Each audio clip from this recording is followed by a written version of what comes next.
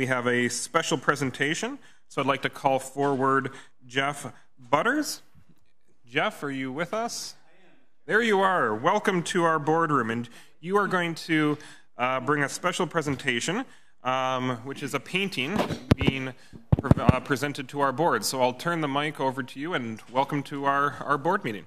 Well, thanks a lot, Chairman White, because it's a, it's a thrill for me to be here. Um, briefly, uh, what I've brought uh, here this evening is a is a painting by E. Robert Ross. He's a Hamilton uh, full-time artist with many installations in public uh, buildings in the area, uh, St. Joseph's, uh, McMaster University, and his work is held privately and publicly. Privately, he's very proud of the fact that President Bill Clinton has some of his work in his in his home. But in any case, why am I here? It's just because I'm so deeply appreciative of what Hamilton Wentworth District School Board has done for me in my life. Not only has it uh, provided me with an outstanding education, elementary and secondary, and that of my wife and my children, but the board has also offered me an, a, a wonderful career as teacher and administrator. And I don't know what else to say except that almost everything I have is as a result of HWDSB. And tonight's an opportunity for me to pay back just a little. So we'll take a look at it. Very unstable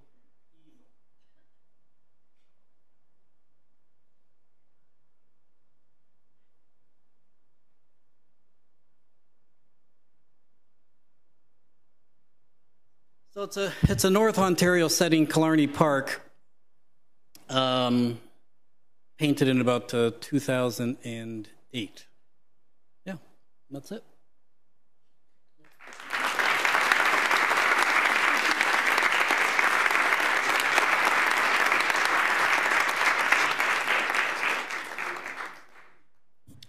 On behalf of the board, uh, Jeff, thank you very much for, for attending, and it's then, uh, definitely a great uh, gesture and honor to have the artwork uh, that will be hung somewhere within our our building here, and I'm sure it will not be missed by any um, bit of imagination. It's a good size.